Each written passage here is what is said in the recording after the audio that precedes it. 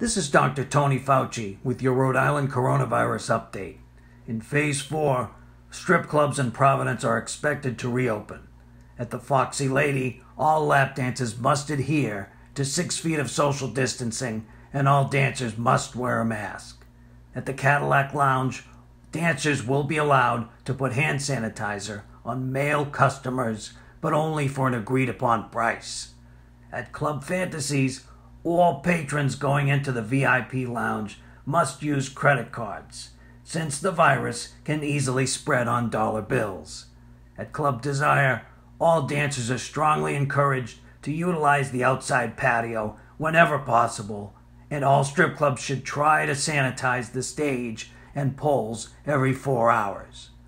All dancers should keep up to date with their contact tracing notebooks. I'm Dr. Fauci on The John DePetro Show.